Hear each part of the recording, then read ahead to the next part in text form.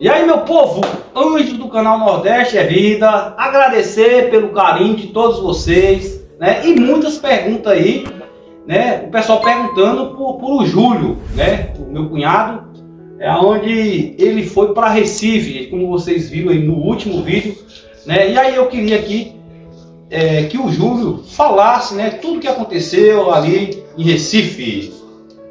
Rapaz, é, foi um negócio bem, bem complicado lá, né? Uhum. Nem você viu, a gente saiu daqui naquele sofrimento, na ambulância, aonde o pessoal do hospital aqui foram excelente, né? O pessoal daqui, né? Isso. Só que a gente chegando lá no Recife, é, tivemos que ficar internado em um lugar onde não tinha cama, não tinha nada, era em cima de uma maca, eu, né? E minha esposa é, ficou no chão. Isso, no- isso no corredor? Isso no corredor porque não tinha leito disponível, entendeu? Aí eles fizeram o internamento. Só que no internamento o médico já disse, disse, olha, dificilmente você vai conseguir essa cirurgia aqui. Por conta do, do tanto de gente que tem à frente. Né? Muita gente. Muita gente. Aí no sábado eh, me encaminharam, eu fiz uma ressonância, que nessa ressonância só ia sair o resultado após três dias, entendeu? E depois dessa ressonância eles iam mandar embora para casa ou fazer igual tinha um paciente que tinha lá. Que ele estava na mesma situação que eu, já estava com 36 dias 36 dias lá. internado. E segundo ele, relato dele, diz ele que os médicos passavam todos os dias, pegavam os papéis dele, a ressonância, entendeu? Olhava e dizia, "Ah, a gente vai ver o que pode fazer. E colocava debaixo da gaveta. Entendeu? Aí pronto. Aí quando eu decidi com minha esposa, eu disse, não. Passei a noite todinha lá, não me deram nada, nenhum remédio, nenhuma injeção, nada, E nada. nesse, nesse exato momento você tava com dor. Com dor, Tava com muita dor. com dor. Fez a viagem de quantos quilômetros? 420 quilômetros. Quantas horas é daqui pra lá? São em média, ele tirou em média de 6 horas de viagem. 6 horas de viagem. 6 horas de viagem. né? Então, Aí eu digo, não, não tem condição de eu ficar aqui. Aí eu tive que assinar um termo para poder sair. E de lá a gente saiu e ficou na rua. Da qual minha cunhada foi quem mandou o Uber, pegou e levou a gente para casa dela. Então assim, em vez de eu conseguir minha cirurgia, foi um gasto a mais, uma tentativa frustrada e só dor, né? Porque cada vez as dores aumentando por conta da viagem. por conta da viagem, né? E, Júlio, vamos ser sinceros, né? Isso aqui é uma coisa que acontece com nós nordestinos aqui, que mora aqui na região do Pajeú. Isso. Por a distância, por não ter um hospital de grande porte, né? Não tem. não tem um hospital de grande porte aqui na nossa localidade. E também pedimos mesmo, gente, né? Eu não sei o que ah, pode acontecer com um vídeo, né? Às vezes dá certo. A gente precisa, gente, de um hospital de grande porte, né? E com, e com médicos, né? Porque também não adianta ter um hospital de grande porte, né? Que lá é de grande porte, De grande porte. e provavelmente deve ser um hospital é, que também é um hospital de grande porte, mas todas as regiões, a gente não pode nem culpar os não, médicos. não, né? é. É porque lá abrange todo. Quer dizer, essa região aqui por perto, em todo canto que tem, só encaminham para lá. Esses dois hospitais que é o maiores que tem lá, né? Então assim, tudo que tem vai para lá. Então a demanda é grande. A demanda é grande. A demanda né? é grande. Então, o que é que falta para nós aqui, gente? É hospitais, né? Hospitais que falta para nós aqui e médicos, né? Porque também muitas das vezes não adianta ter só o hospital, tem que ter também a estrutura aí, né? É, na área de médicos, né? E a gente sofremos muito com isso, né? É, tendo assim, se a pessoa já, já, já é um cara que está numa situação, né? Que está comprando seus remédios, né, numa situação difícil, é tanto, é uma, uma situação difícil, gente, né? E aí a pessoa vai, é, não gastou para ir, mas gastou para voltar. voltar. Você gastou para voltar. Gastei, tive que pegar carro, é, Uber. E assim, por sorte que a gente tem uns contatos né, do pessoal aí que sempre tá com a gente, que conseguiu lotação de lá para cá, né? Uhum. Senão a gente tinha que fretar um carro. Aí um frete daqui no Recife hoje é em torno de 1.200 reais. 1.200 reais. É. Então, se para que estava ruim financeiramente, Ficou pior. fica pior, Sim. né? Então vai lá, gente, aí por isso, gente, que eu, é, é, aí pronto, a gente faz um apelo, tem uma rifa aí de dois reais, gente, né? Eu tô muito feliz, agradecido né? As pessoas que compraram a rifa, né? Tem gente que gosta tanto da gente que acho que umas duas ou três pessoas compraram sem rifa, cara. Né? Uma de Portugal, né? E o outro amigo aqui, é, se não engano, de São Paulo, né? interior de São Paulo, né? né? É, agradecer a todos vocês, gente. Só estou dando um exemplo, né? Que você também que pode, né? Você que pode que tem condição, pode comprar, né? Compra aí, né? Para ajudar a gente, ajudar o, o Júlio, né? É, fazer o tratamento dele, gente, né? E ele está pensando em fazer o que? A cirurgia. Eu queria que você falasse um pouco da cirurgia. Isso, então, é hoje, até ontem, praticamente, essa rifa aí a gente começou em prol de eu fazer meu tratamento e de poder lhe ajudar de alguma forma a dar entrada na sua moto, né? Isso mesmo. Só que hoje minha realidade já é outra. Eu encontrei um vereador aqui, um Geninho do Giz lá, um colega da gente, e ele falando, né, perguntando, eu digo, rapaz, eu sou obrigado a fazer minha cirurgia. Eu não aguento mais. Entendeu?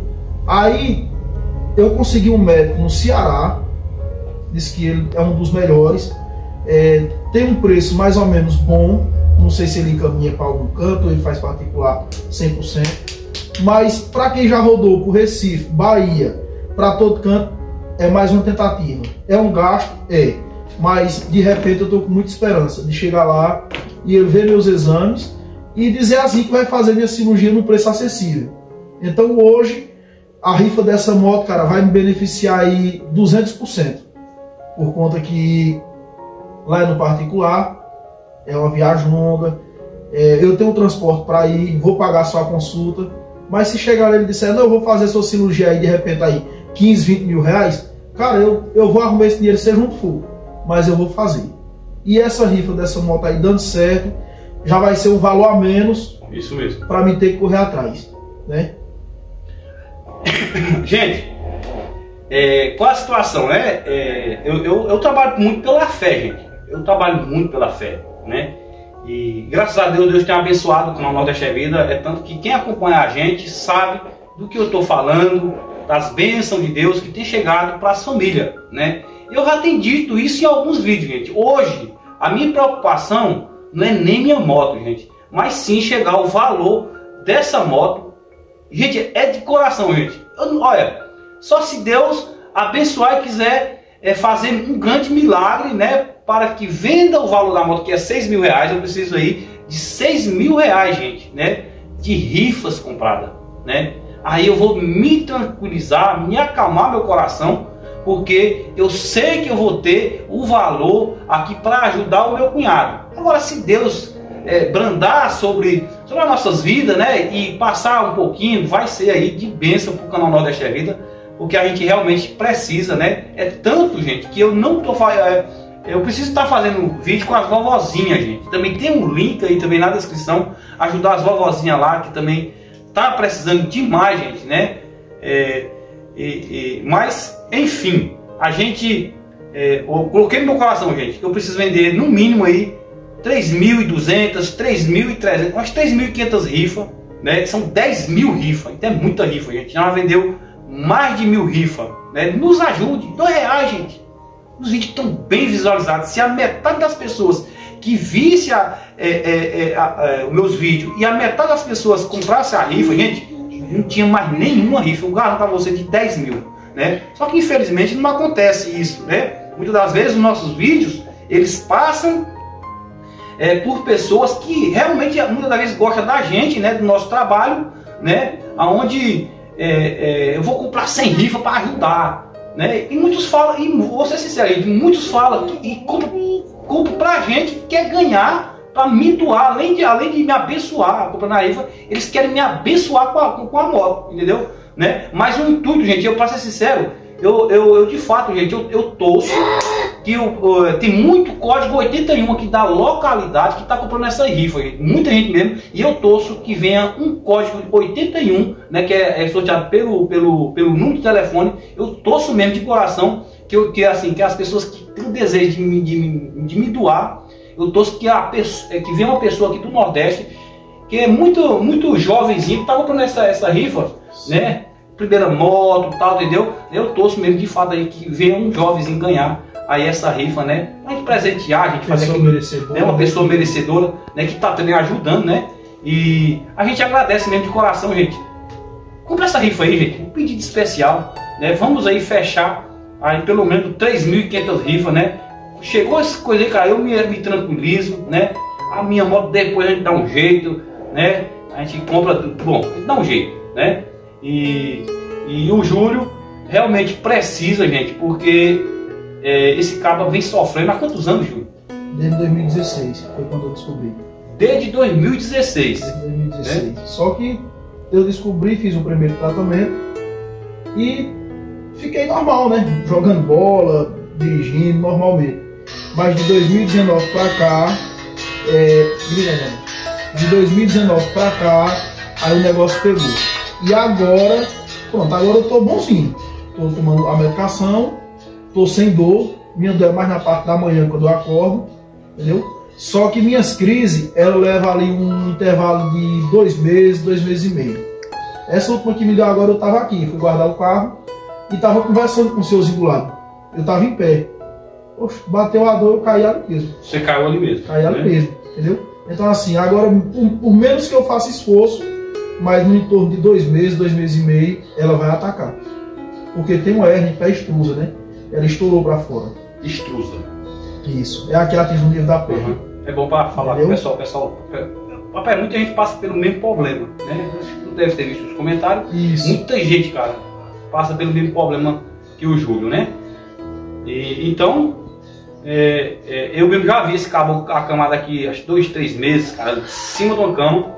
Eu vejo que é, é essa, é, é, dessa vez veio mais fraco um pouquinho. Ah, dessa vez veio. 30%, 40%. 30%, né? Mas ele está desesperado para fazer a cirurgia porque ninguém merece, né, nego? Foi o que o vereador falou para mim, disse, Júlio, é, cara, corre para não fazer a cirurgia. Aí eu respondi para ele, eu digo, não, eu tô correndo para fazer. Mas se tu ficar paralítico, eu digo, bom, paralítico eu já vivo. Porque eu, eu tô, hoje eu não consigo fazer nada. Eu não consigo dirigir mais para longe. Uhum. Eu não consigo jogar bola. Eu, não, eu tenho limitações de pegar peso. Então, assim, hoje praticamente eu estou limitado a tudo. Então, e com dor. Então, pelo menos com a cirurgia, que Deus me abençoe, que eu venha a fazer e venha me recuperar para me ter uma vida, porque hoje eu tenho 33 anos. 33 é né? novo. Né? Então eu tenho, tenho muitas coisas que eu estou abandonando porque eu não consigo fazer mais. Tem até um relato do médico né, de Serra Talhada que falou Isso. que é uma cirurgia que é, é, você no, tem que aproveitar.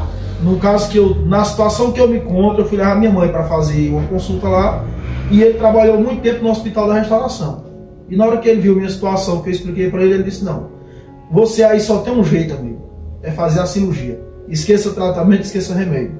Você só vai melhorar e voltar a ter vida com a cirurgia. Isso mesmo. E, e, e, aproveitando, falou da sua idade, que é importante. Isso, por conta da idade, é, eu tenho que fazer o quanto antes. Entendeu? É, porque a recuperação ela é melhor, Bem porque a pessoa rápido. é mais jovem. Isso. Realmente, ele é jovem, né, tem uma vida inteira pela frente, tem que criar seus filhos, né? É, e aí, Kátia, você, Kátia, é, quando seu marido, você fala aí, cara, pode. Kátia, vamos lá, Kátia, vamos ali, senta perto do seu marido ali. Eu vou fazer umas perguntas pra você, vai lá. Vai lá, Kátia. É,